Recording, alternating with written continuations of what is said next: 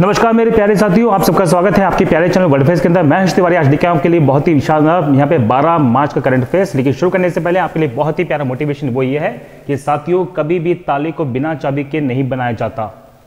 इसी प्रकार से यदि आपकी ज़िंदगी में प्रॉब्लम्स हैं तो प्रॉब्लम्स के साथ साथ उनका सॉल्यूशन भी बनाया गया तो बिना अटेम्प्ट किए प्रॉब्लम्स पे गिव अप मत करिए। कभी कभी ऐसा देखा भी गया है कि गुच्छे का जो आखिरी चाबी है वो अक्सर ताले को खोल देती है। तो क्या पता मेरे साथियों, आपका जो आखिरी अटेम्प्ट हो, वही आपकी ज़िंदगी के अंदर जो ताला लगा हुआ है, उसे खोल के चले। और मैंने कल आपसे क्वेश्चन पूछा था पे 11 मार्च को कि किस अभिनेता को यहाँ पे International Federation of Film Archive का अवार्ड दिया जाने वाला है? तो आंसर यहाँ पे अमिताभ बच्चन जी, इसका आंसर मैं पूरा आज देने वाला स्पष्ट रूप से।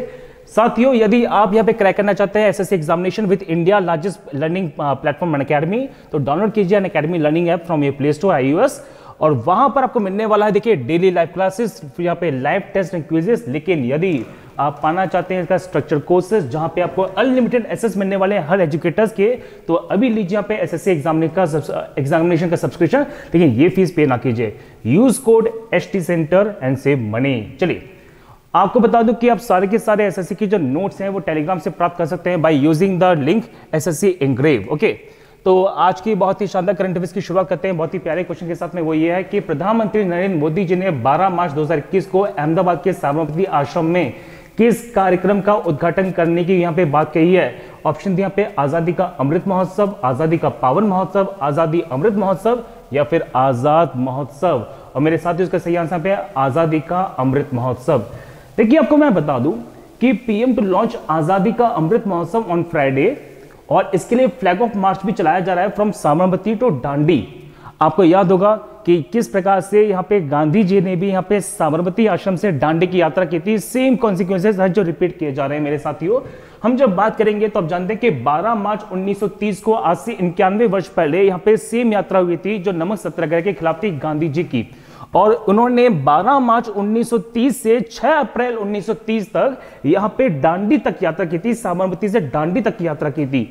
और इसी के दिन, आज ही के दिन, यहाँ पे आज़ादी के 75 वर्ष वर्ष के उपलक्ष्य में यहाँ पर जो महोत्सव है, मेरे साथी उसका नाम है भारत का अमृत महोत्सव, जिसके लिए लोगो कंपटीशन भी किया जा रहा है, जिसमें प्राइज है अप टू 1.75 लाख रुपीस अगर बात की जाए तो आज़ादी के अमृत महोत्सव के उपलक्ष्य में यहाँ पे 259 मेंबर्स की जो हाई लेवल कमेटी है, उसको भी बनाया गया है। और इसके बारे में आपको मैं पहले भी प्रीवियस जो हमारे पार्ट्स हुए थे उसमें मैंने आपको बहुत अच्छी तरह से डिस्कस किया था कि आज़ादी के अमृत महोत्सव में यहाँ पे जो पार्टीज़ जो यहाँ पे कमेटी बनी है, उस कमेटी में former president Pratibha Patil chief justice S A Bobde NSA Ajit Doval 28 मुख्यमंत्री लता मंगेशवर नोबेल पुरस्कार विजेता Amartya Sen senior BJP leader के एल के अडवाणी। इसके साथ साथ में बहुत सारे लीडर्स भी हैं, जिसमें कांग्रेस प्रेसिडेंट सोनिया गांधी हैं सीपीएम लीडर सीतारामन येचुरी हैं एनसीपी लीडर शरद पवार जी हैं, तृणमूल कांग्रेस के यहाँ पे ममता बनर्जी हैं साथ साथ में यहाँ पे मुलायम सिंह जी और यहाँ पे बीएसपी चीफ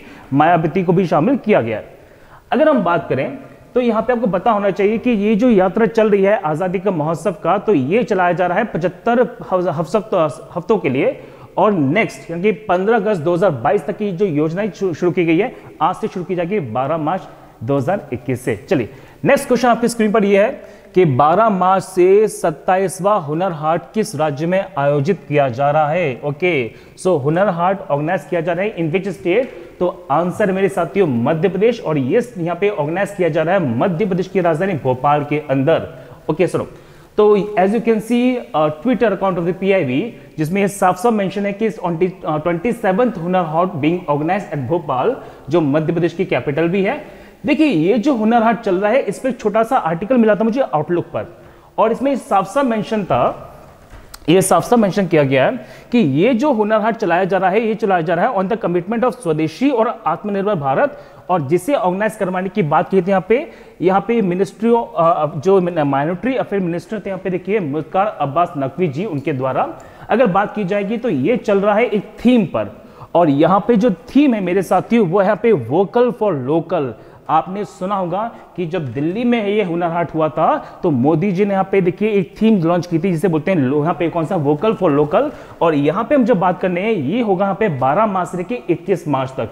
इसके अलावा भारत में बहुत सारे क्षेत्र ऐसे हैं जहाँ पे ये हुनर हाट का जो कार्यक्रम है, ये आयोजित किया जाने वाला है। चलिए, अगर मैं बात करूँ मध्य प्रदेश की तो मध्य प्रदेश में लोकसभा सीट कितनी पे? उनतीस है 29 लोकसभा सीट्स हैं। विधानसभा सीट है 230 टू 31 यहाँ पे हल्का सा करेक्शन मेरे साथियों यहाँ पे आंसर है 230 यहाँ पे इसे फाउंडेड किया गया था पे 1 मार्च 1956 को। मुख्यमंत्री हैं शिवराज सिंह चौहान जी और यहाँ पे राज्यपाल हैं आनंदीबेन पटेल जी। चलिए नेक्स्ट क्वेश्चन हमारे सामने, वो ये है कि one nation one ration card system के संचालन में शामिल होने वाला अभी नया राज्य कौन सा है? तो यहाँ पे, अभी यहाँ पे one nation one ration card में शामिल किया गया उत्तराखंड को। यस मेरे साथियों देखिए। तो उत्तराखंड यहाँ पे 17 स्टेट बन गया है, जो इस योजना के तहत शामिल किया गया है। आप यहाँ पे देख पाएँगे कि किस प्रकार से यहाँ पे छोटा सा आर्टिकल है the 17 state implemented one nation one ration card और ये यहाँ पे रिसेंटली ज्वाइन किसने किया पे? उत्तराखंड के अंदर। हम जब बात करते हैं मेरे साथियों तो 2019 में यूनियन मिनिस्ट्री रामविलास पासवान ने इसे पायलट बेसिस पे योजना बनाई थी, जिसमें चार राज्य शामिल थे। आपको बता दूँ कि इस योजना को चलाया जाना पे नेशनल फ़ूड सिक्योरिटी के तहत और बहुत सारी स्कीम्स को मर्ज किया गया है। इसमें सबसे ज़्यादा सबसे ज़्यादा यहाँ पे हम जब बात करते हैं तो बेनिफिशियरी है Uttar Pradesh followed by the यहाँ पे Karnataka and followed by the Gujarat okay चलिए, अगर बात की जाए यहाँ पे उत्तराखंड की तो उत्तराखंड अभी हाल ही में बहुत ज़्यादा चर्चा में भी रहा है। देखिए, यहाँ पे सियासी उथल पथल बहुत ज़्यादा चल रही है। तो नए जो चीफ मिनिस्टर है, वो है तीरथ सिंह रावत जी, जो अभी लेटेस्ट बने हैं। यहाँ पे गवर्नर है बेबी रानी मौर्य जी। चलिए क्वेश्चन यह है कि 19 मार्च से भारत की तीन दिवसीय यात्रा पर आने वाले अमेरिकी रक्षा सचिव का नाम क्या है? यहाँ पे क्वेश्चन को ध्यान से सुनिएगा। मैं रक्षा सचिव की बात कर रहा हूँ। Not I am not talking about the defence minister मैं बात कर रहा हूँ डिफेंस सेक्रेटरी की। चलो। तो यहाँ पे अगर क्वेश्चन पूछे कि यहाँ पे 19 मार्च को कौन से रक्षा सचिव आ रहे हैं? तो आंसर है मेरे साथियों पे लॉयर जे ऑस्टिन ओके ये as you can see here कि हिंदुस्तान टाइम्स का छोटा सा आर्टिकल है कि US defence secretary Lloyd Austin to visit India soon और यहाँ पे इंडिया पैसिफिक की जो बातें चलने वाली है, उसके एजेंडा के ऊपर ये बात होने वाली है। और ये मीटिंग होने वाली है राजनाथ सिंह जी से, जो डिफेंस मिनिस्टर है इंडिया के ओके अगर बात की जाए, ये किस देश से है तो आंसर है यूएसए से। यूएसए की जो मैं बात करता हूँ that is United States of America जहाँ के प्रेसिडेंट है जो बाइडन और यहाँ पे कैपिटल है वॉशिंगटन डीसी ओके 11 मार्च 2021 को किस देश के प्रधानमंत्री बकायोको का निधन हुआ है? ओके बहुत ही इंपॉर्टेंट क्वेश्चन आपके एग्जामिनेशन के पॉइंट ऑफ़ व्यू से। तो यहाँ पे जो बकायोको जी की मृत्यु हुई है, वो किस देश से है? तो आंसर है आइवरी कोस्ट से।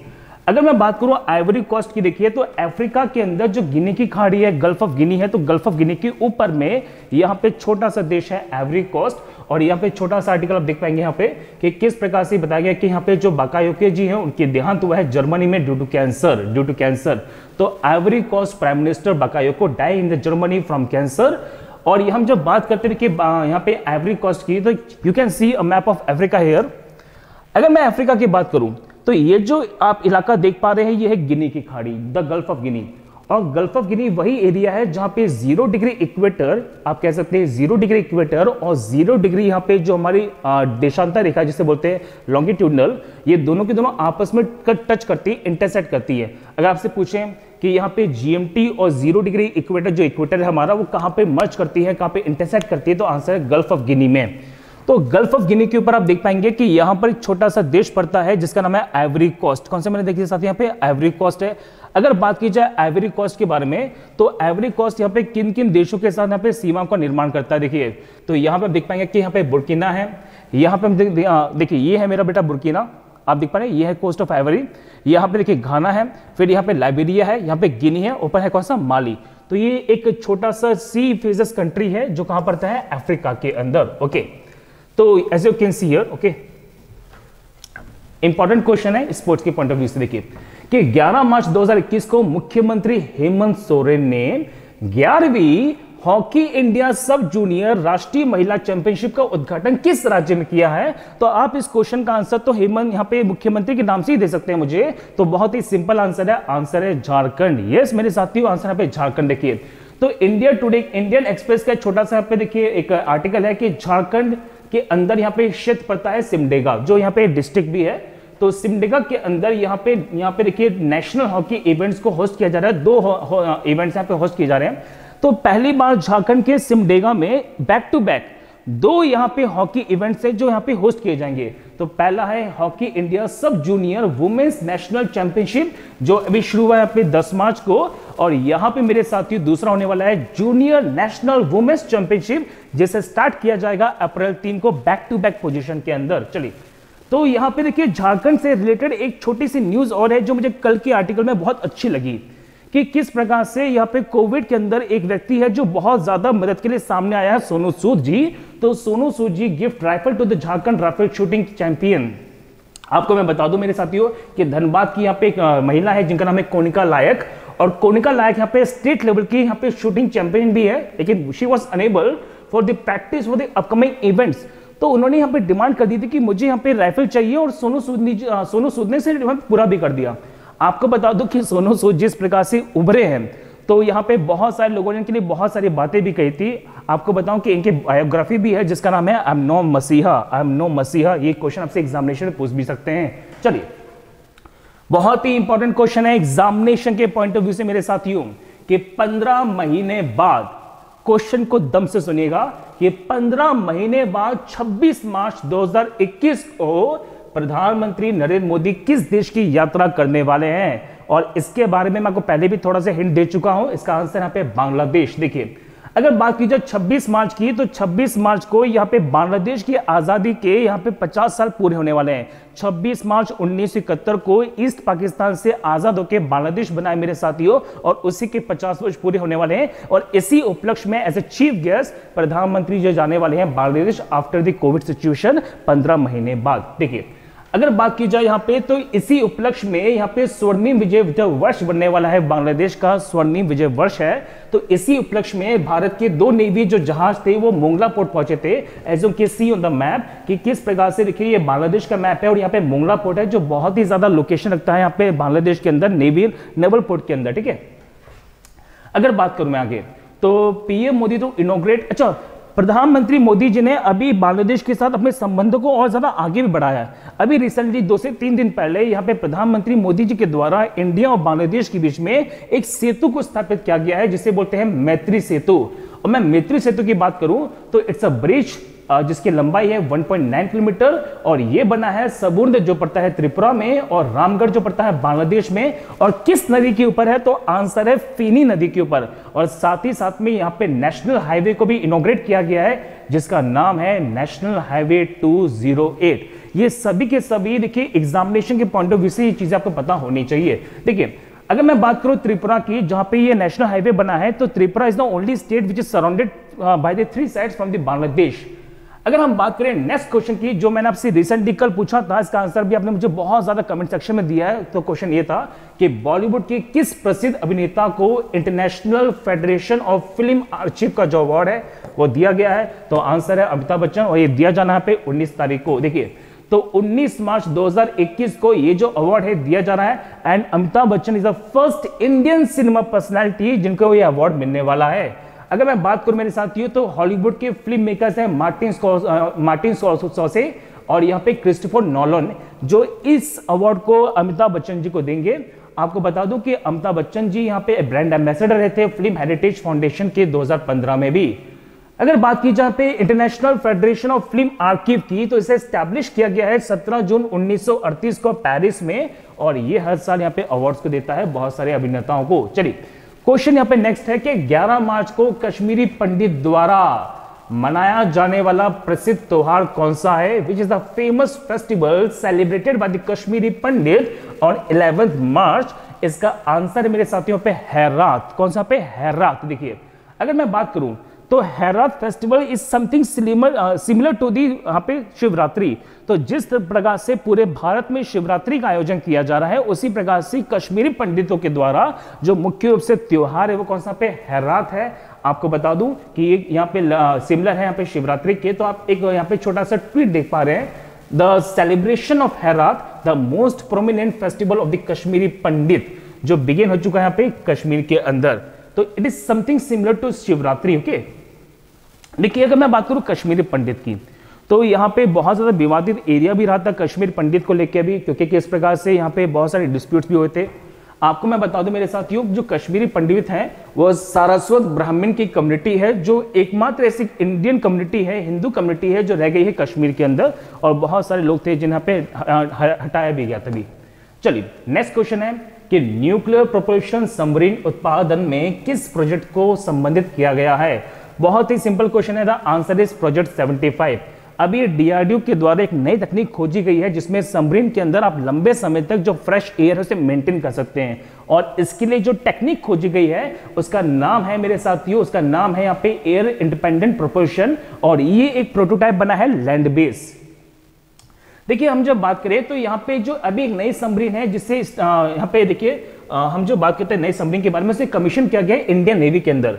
तो जो नई सबमरीन अभी कमीशन की गई है, वो है आईएनएस करंज इससे पहले हम जब बात करते हैं तो यहाँ पे पहली जो इस टाइप की जो समरीन है, जो स्कॉर्पियन बेस्ड समरीन है, वो कौन सी यहाँ पे? आईएनएस कलवरी है। दूसरी है आईएनएस खंडेरी और तीसरी है आईएनएस करेंज ओके? चलिए, अगर बात की जाए डीआरडीओ के बारे में, जिसने ये प्रोटोटाइप बनाया है तो डीआरडीओ के यहाँ पे हम जब बात करते हैं तो देखिए यहाँ पे जो डायरेक्टर है, वो कहाँ पे? जी सतीश रेड्डी जी है। बहुत ही इंपॉर्टेंट क्वेश्चन है। एग्जामिनेशन के पॉइंट ऑफ़ व्यू से रेलवे की खासकर दृष्टि में जो लोग तैयारी करें, उनके लिए तो बहुत ज़्यादा इंपॉर्टेंट है क्वेश्चन कि 11 मार्च 2021 को भारतीय रेलवे ने किस ई एप्लीकेशन के द्वारा जो यहाँ पर वर्कर्स होते हैं कॉन्ट्रैक्ट बेसिस पे उनको पेमेंट करने के लिए पोर्टल जारी किया है? तो इसका आंसर है मेरे साथियों पे श्रमिक कल्याण पोर्टल देखिए तो यहाँ पे डेली बेसिस पे जो वर्कर है, जो इंडियन रेलवे के साथ काम करते हैं, उन्हें यहाँ पे प्रॉपरली पूरा पैसा मिलता रहे।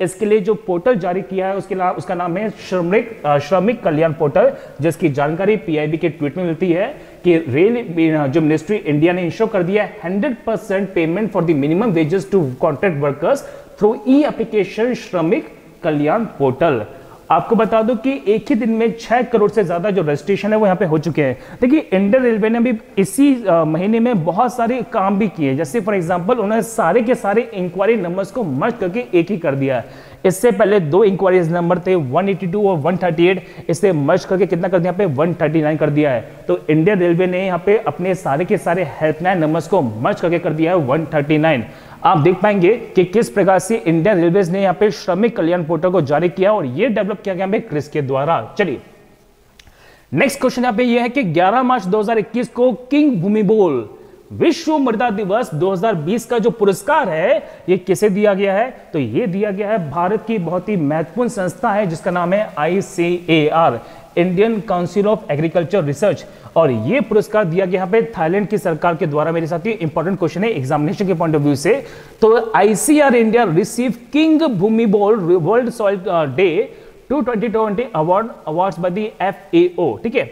चलो।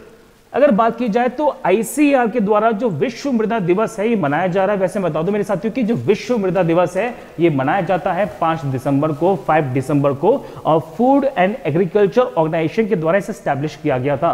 तो आईसीआर के द्वारा ये जो अवार्ड है, अभी जीता गया है। अगर बात की जाए किंग भूमि वर्ल्ड सॉइल डे के बारे में तो इसे यहाँ पे दिया जाता है, यहाँ पे थाईलैंड की सरकार के द्वारा, और स्पॉन्सर करते हैं यहाँ पे किंगडम ऑफ़ थाईलैंड। चलिए तो आप लोगों के लिए होमवर्क क्वेश्चन है ये, साथियों कि। 12 मार्च को विश्व भर में कौन सा दिवस मनाया जाता है? बहुत ही सिंपल क्वेश्चन है। मैं उम्मीद करूँगा आप सबके सब यहाँ पे इसका आंसर मुझे ज़रूर देंगे। आपके ऑप्शन इस प्रकार से हैं कि यहाँ पे महिला सुरक्षा के खिलाफ विश्व दिवस, विश्व डाक दिवस world day against cyber censorship और यहाँ पे वर्ल्ड साइंस डे बहुत ही सिंपल क्वेश्चन है। मैं पूरा उम्मीद करूँगा कि आप सबके सब मेरे साथी इसका आंसर मुझे ज़रूर कमेंट में देंगे।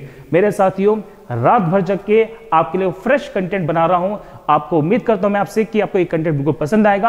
आप ज़्यादा से ज़्यादा इसे लाइक करेंगे शेयर करेंगे और यहाँ पे प्यारे प्यारे कमेंट ज़रूर करेंगे। हम कल मिलेंगे सेम टाइम पर सुबह सुबह आपको नया फ्रेश कंटेंट देने के लिए। तो मिलते हैं मेरे साथियों कल। Bye take care and please यहाँ पे पढ़िए और अपने जीवन में सफलता को प्राप्त कीजिए।